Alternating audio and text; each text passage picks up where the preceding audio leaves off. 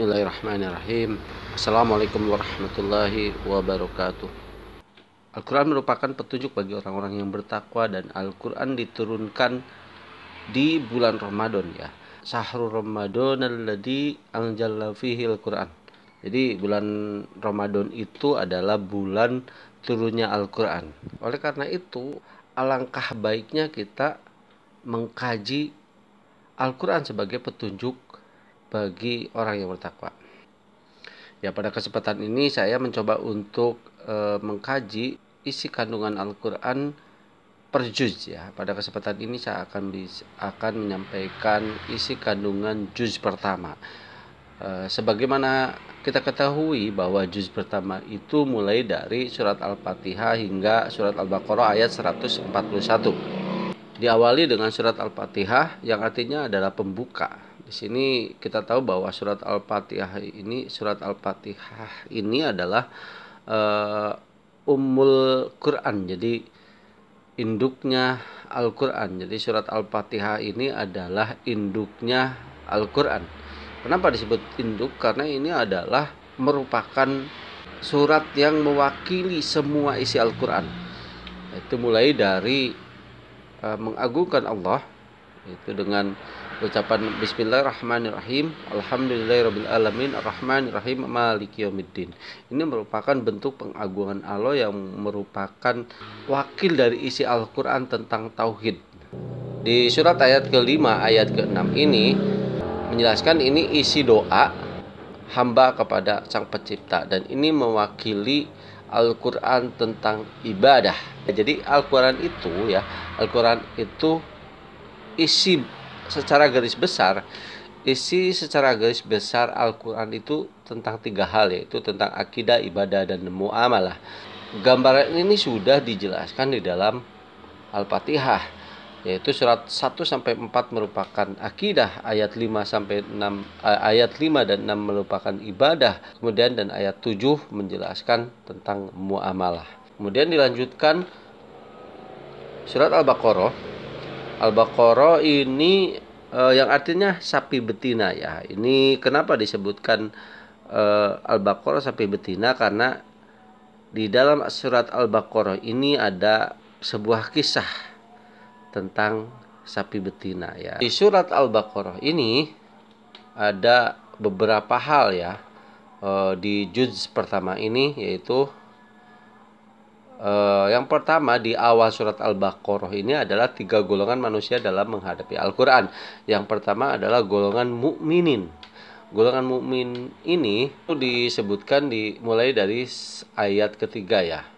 Ayat ketiga, alladzina yu'minuna bil ghaibi wa yuqimuna sholata wa mimma razaqnahum yunfiqun. Ini yang dimasukkan mereka yang beriman kepada yang gaib. Aladina yu'minuna bil ghaibi. Kemudian yang mendirikan sholat dan berzakat. Kemudian ayat 4 dijelaskan e, mereka juga yang beriman kepada Al-Quran. Kemudian kepada kitab-kitab sebelumnya yang diturunkan kepada uh, rasul-rasul sebelumnya gitu ada kitab Jabur, kitab Taurat, ada kitab Injil itu kita harus mempercayai hal tersebut kemudian mempercayai kepada hari akhir juga. Jadi di, di ayat kelima ini, di ayat kelima ini menjelaskan golongan orang mukmin itu mereka yang mendapat petunjuk dari Allah Subhanahu wa taala. Kemudian golongan yang berikutnya adalah golongan kafir. Ayat 6 disebutkan sesungguhnya orang-orang kafir sama saja bagi mereka kamu beri peringatan atau tidak kamu beri peringatan mereka tidak akan beriman. Innal ladina kafaru sawa'un alaihim a'angdaltahum am lam tundirhum la yu'minun. Jadi sesungguhnya orang-orang kafir itu sama saja bagi mereka diberi peringatan atau tidak, mereka tidak akan beriman. Itulah salah satu orang kafir ya. Jadi di diberi penjelasan atau tidak, maka uh, itulah ciri-ciri orang yang kafir. Kemudian ayat tujuhnya Allah telah mengunci hati mereka dan penglihatan mereka juga dan bagi mereka adalah siksa yang amat berat. Watamallahu ala qulubihim wa ala sam'ihim wa ala absarihim kisawatun walahum adzabun adim.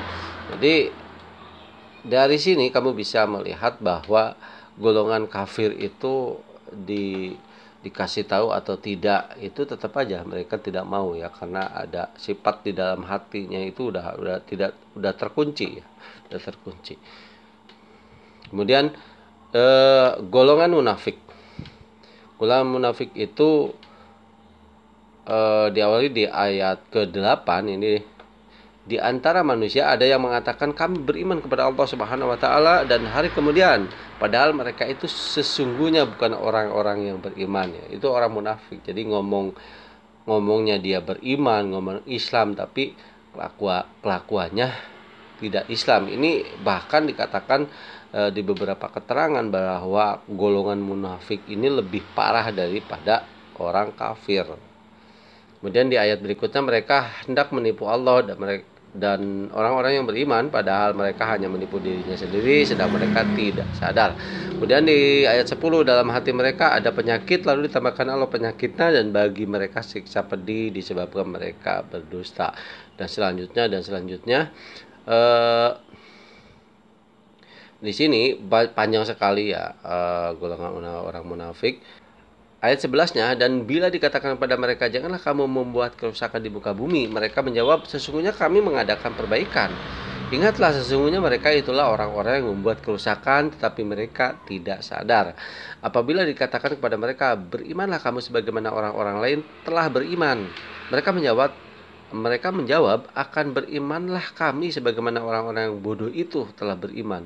Ingatlah sesungguhnya mereka orang-orang yang bodoh, tetapi mereka tidak tahu.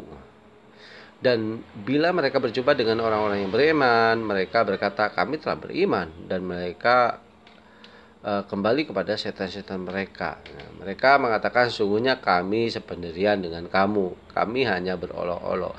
Jadi di ayat ke-14 ini orang munafik itu ketika ketemu dengan orang yang beriman, ya saya beriman gitu, tapi ketika mereka kembali ke golongannya ini yang dikatakannya sesungguhnya kami sependirian dengan golongannya tersebut yang tidak beriman.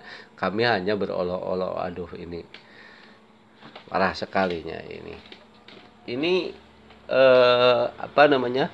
Di ayat ini ini bisa menjadi sebuah rujukan ataupun eh, pengetahuan bagi kita barang siapa menemukan hal-hal yang seperti ini itulah orang munafik dan pelajaran buat kita jangan sampai kita seperti ini.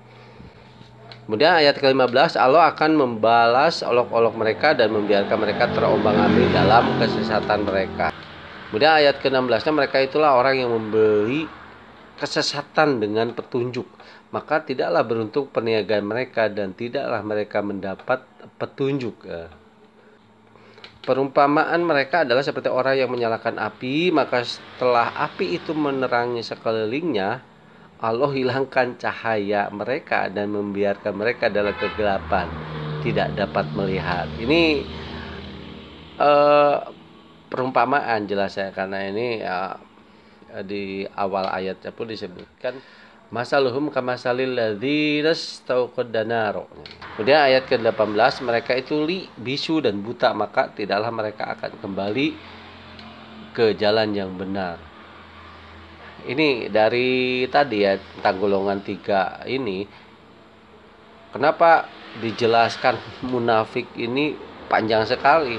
Karena emang kategorinya caranya itu berbeda-beda.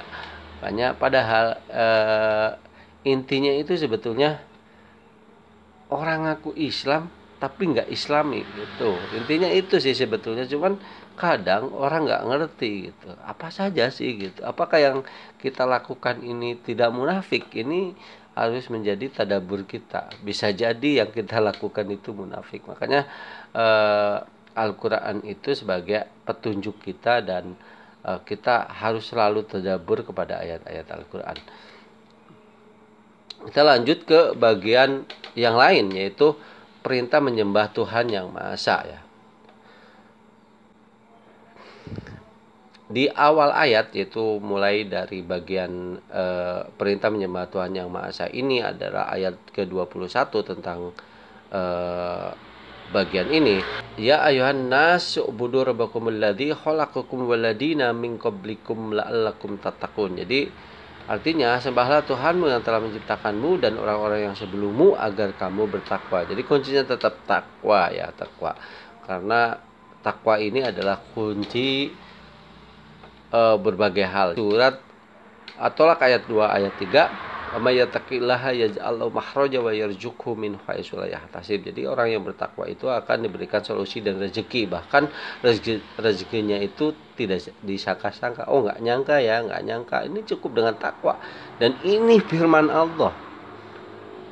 Dan ini juga ujian bagi kita. Kita percaya nggak gitu kan? Percaya nggak gitu.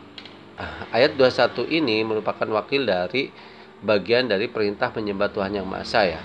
Jadi di ayat 22 dijelaskan dialah yang menjadikan bumi sebagai hamparan bagimu dan langit sebagai atap dan dia menurunkan air dari langit lalu dia menghasilkan dengan hujan itu segala buah-buahan sebagai rezeki untukmu karena itu janganlah kamu mengadakan sekutu-sekutu bagi Allah Subhanahu wa taala padahal kamu mengetahui di ayat 22 ini bahwa uh, kita harus menuntut untuk tadabur ya jadi tadabur tentang yang Allah ciptakan.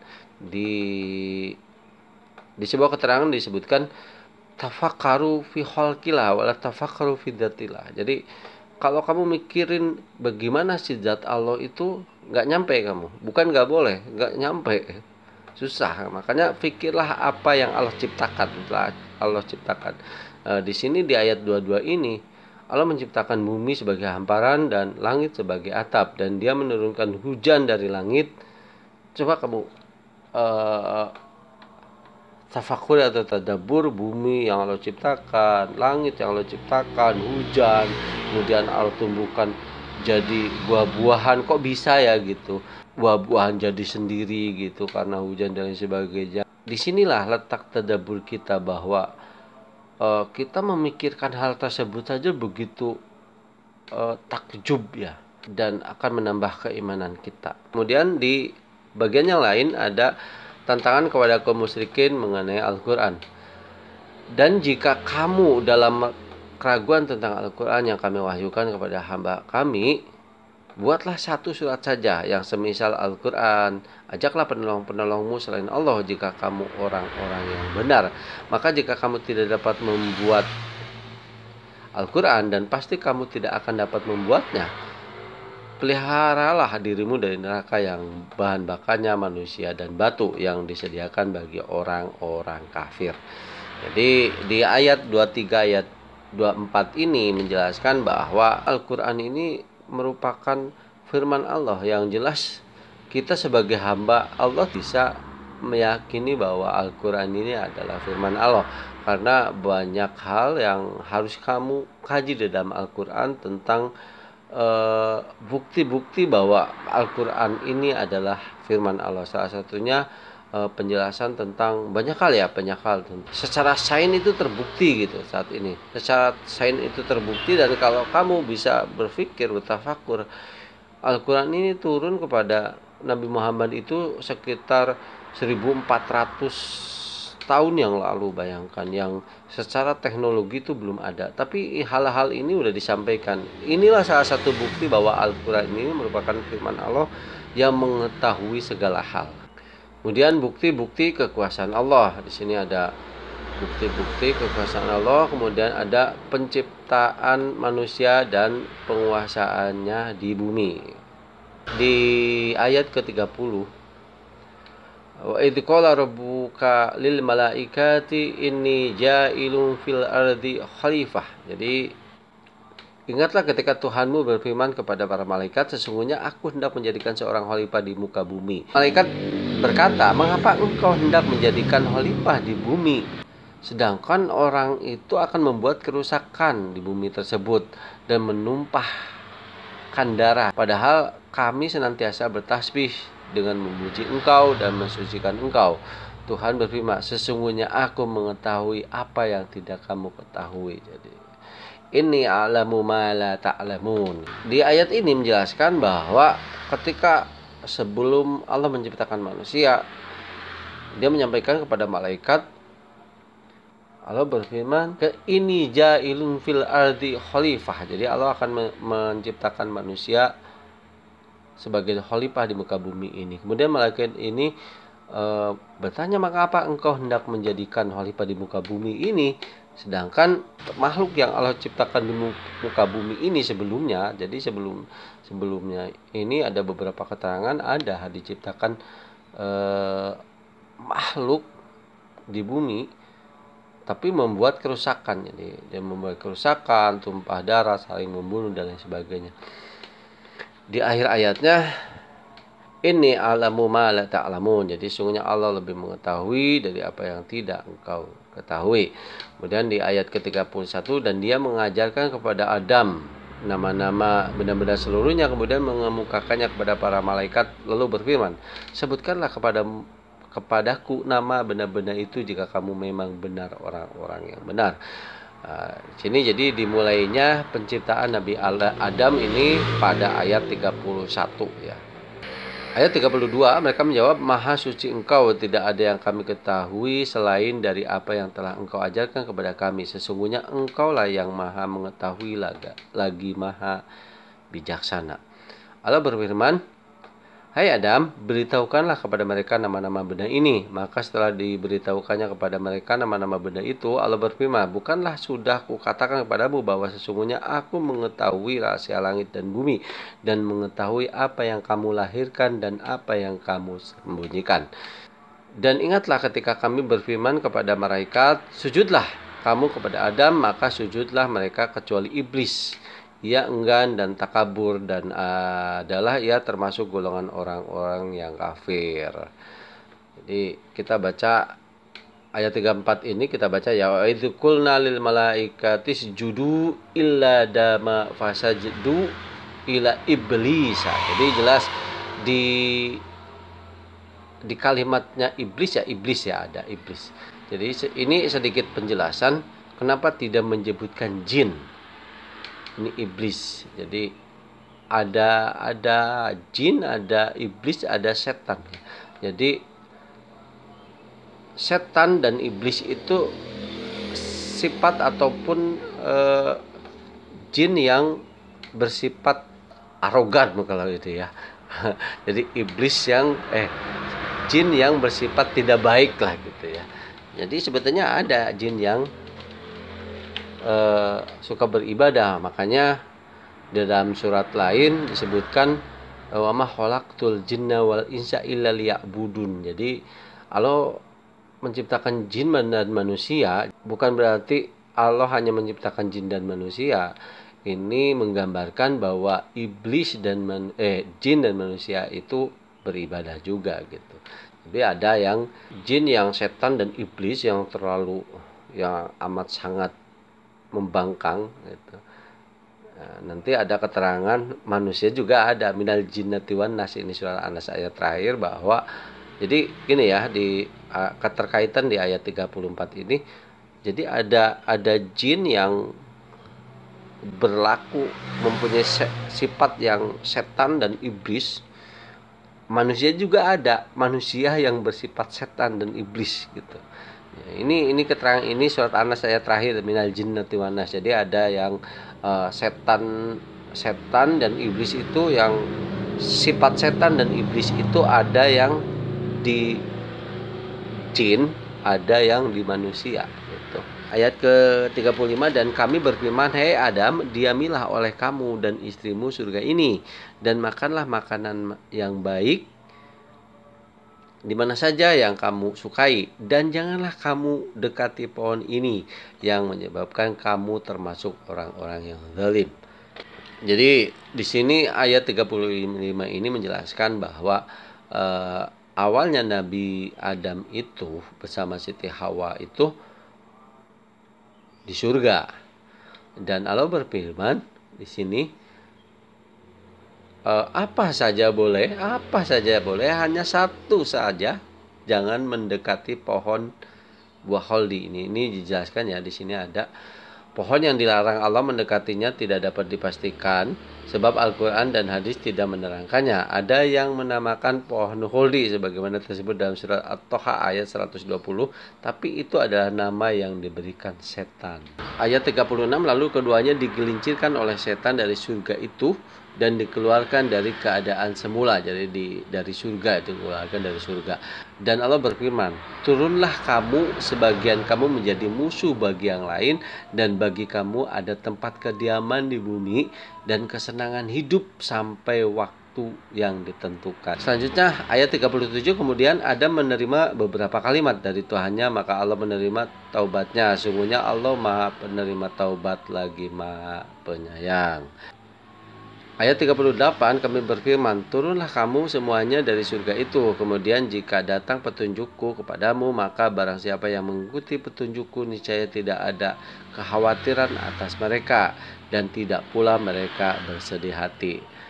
Nah, ini di ayat 38 ini e, bisa disimpulkan e, ketika kehidupan dunia itu kamu bersedih hati, maka carilah petunjuk Allah Subhanahu wa taala.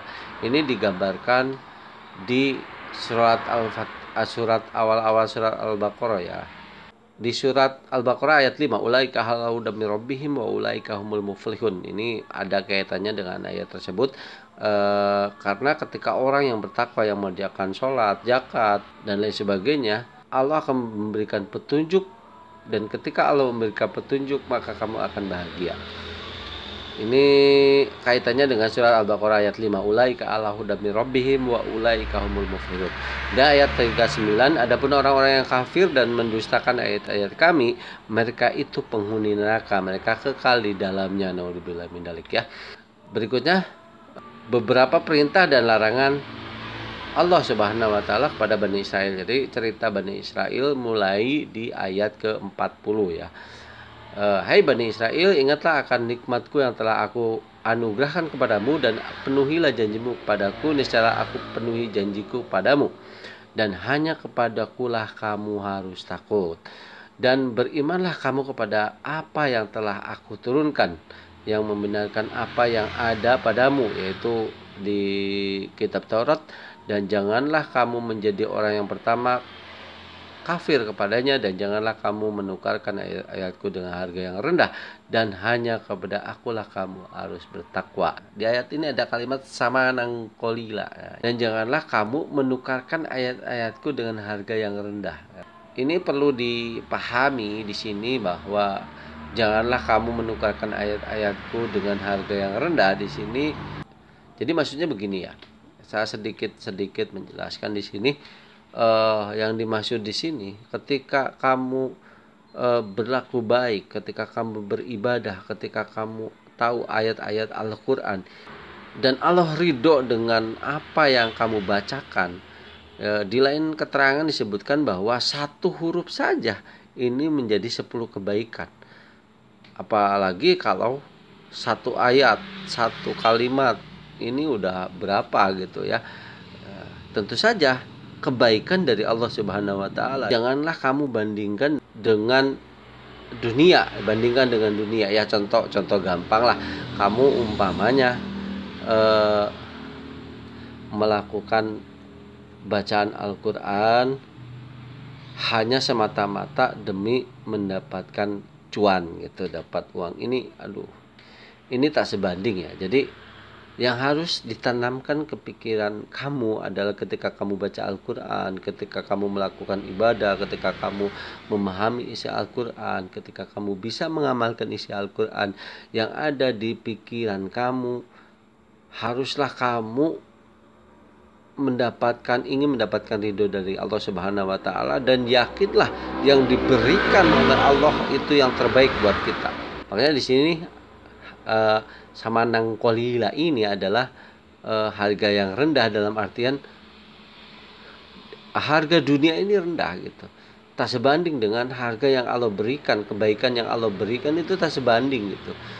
Kemudian perincian nikmat Tuhan kepada Bani Israel. Jadi di sini ada rincian nikmat Tuhan kepada Bani Israel. Ayat 49. Dan ingatlah ketika kami selamatkan kamu dari Fir'aun dan pengikut-pengikutnya. Mereka menimpakan kepadamu siksa yang berat seberat-seberat. Mereka menyembeli anak-anakmu yang laki-laki dan membiarkan hidup anakmu yang perempuan. Dan pada yang demikian itu dapat cobaan-cobaan yang besar dari Tuhanmu. Nah ini kisah ketika pada zaman Firaun ya uh, ini Nabi Musa masih kecil ya.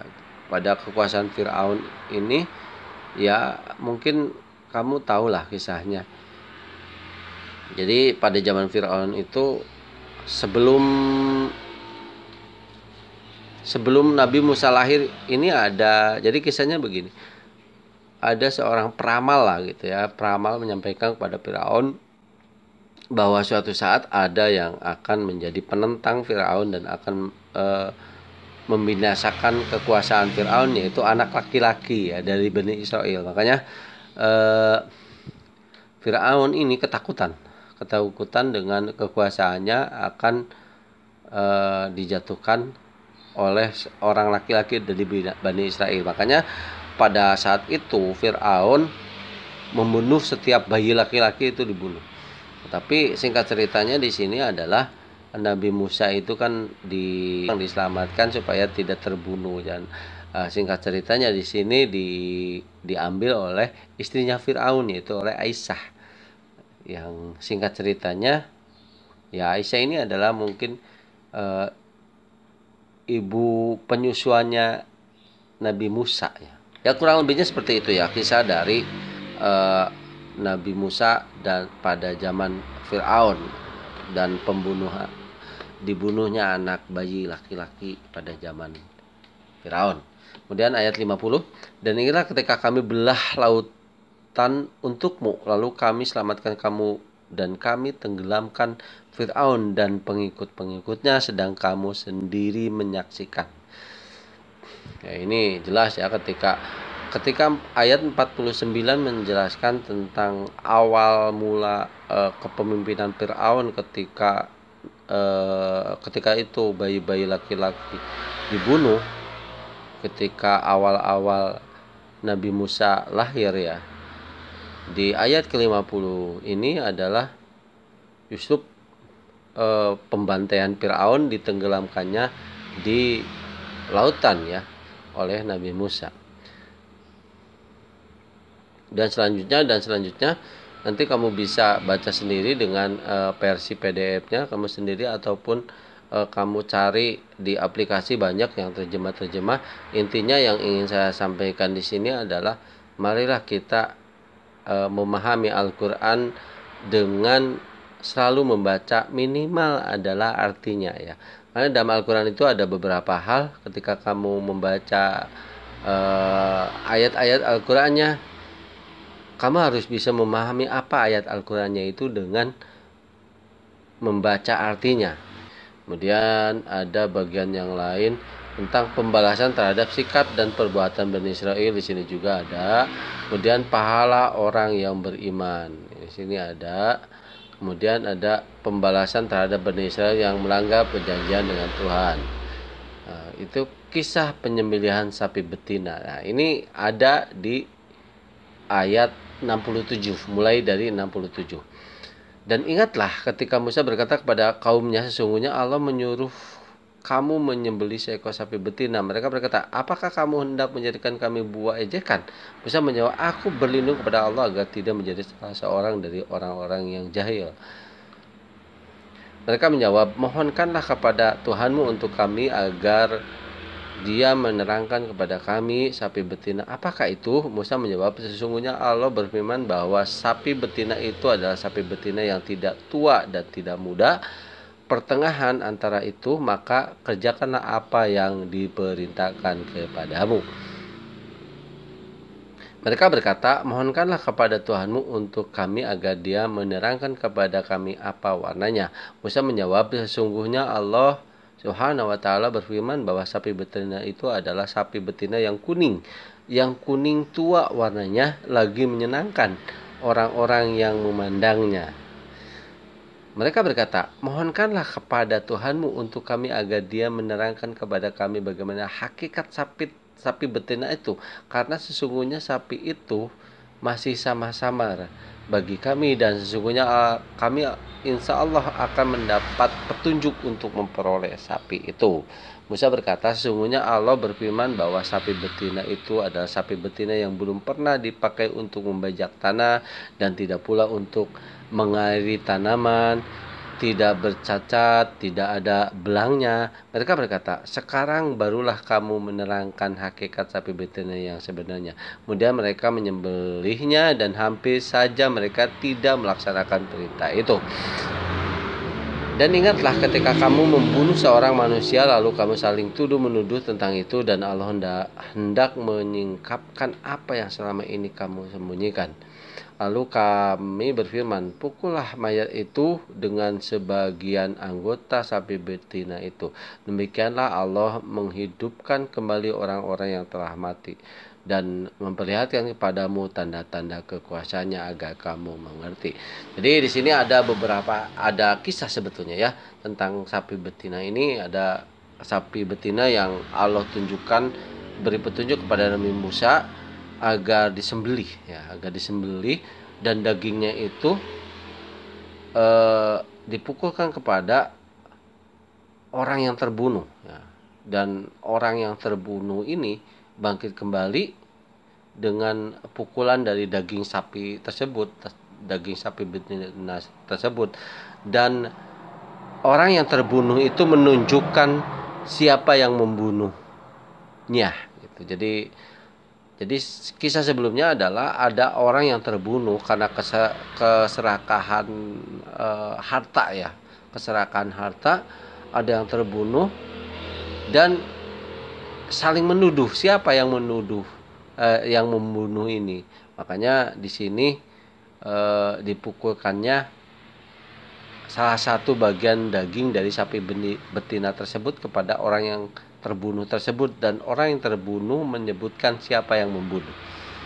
Aja ayat 74 kemudian setelah itu hatimu menjadi keras seperti batu bahkan lebih keras lagi padahal di antara batu-batu itu sungguh ada yang mengalir sungai-sungai daripadanya dan di antara sungguhnya ada yang terbelah lalu keluar dari mata air dan padanya dan di antaranya sungguh ada yang meluncurkan jatuh karena takut kepada Allah dan Allah sekali-kali tidak lengah dari apa yang kamu kerjakan. Kemudian selanjutnya keimanan orang Yahudi suka diharapkan di masa Rasulullah Shallallahu Alaihi Wasallam. Jadi kaum kaum Bani Israel itu disebutkan adalah kaum Yahudi ya. Ayat 75. Apakah kamu masih mengharapkan mereka akan percaya kepadamu pada segolongan dari mereka mendengar firman Allah lalu mereka mengubah setelah mereka memahami sedang mereka mengetahui. Jadi di sini adalah di bagian ini kayak mana orang Yahudi suka diharapkan di masa Rasulullah Shallallahu Alaihi Wasallam. Jadi pada zaman Nabi itu ada orang-orang Yahudi yang merupakan keturunan Bani Israel. Ya, jadi pada zaman Rasulullah Shallallahu Alaihi Wasallam ini ada orang-orang Yahudi yang merupakan turunan dari Bani Israel. Langsung ke bagian yang lain, Bani Israel mengingkari janjinya dengan Allah Subhanahu Wa Taala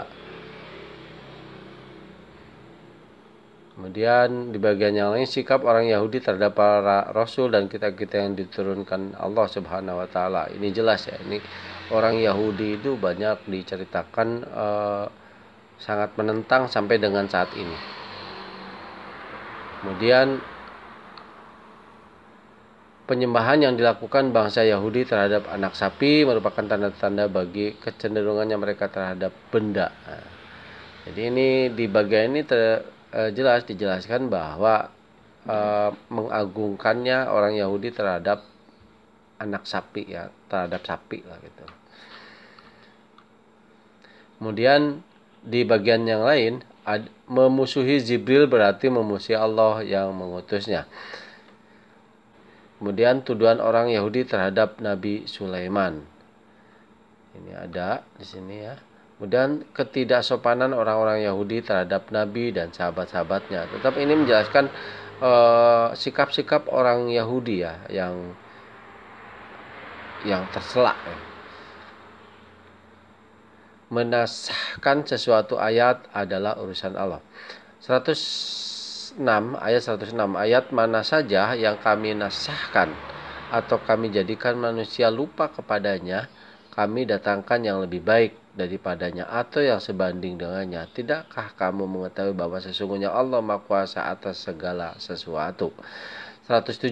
Tidakkah kamu mengetahui bahwa kerajaan langit dan bumi adalah kepunyaan Allah Subhanahu wa taala dan tidak tidak bagimu selain Allah seorang pelindung maupun seorang penolong.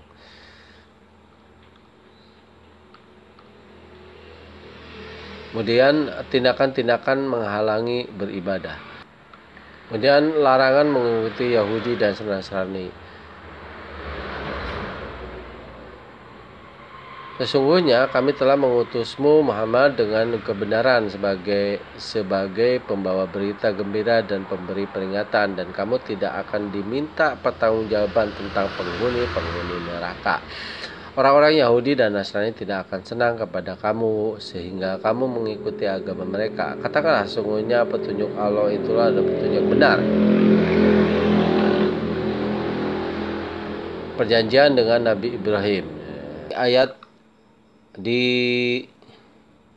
di bagian juz terakhir ini adalah menjelaskan tentang kisah Nabi Ibrahim ya uh, dan akidah Nabi Ibrahim serta uh, saudaranya yaitu Yakub dan anak keturun keturunannya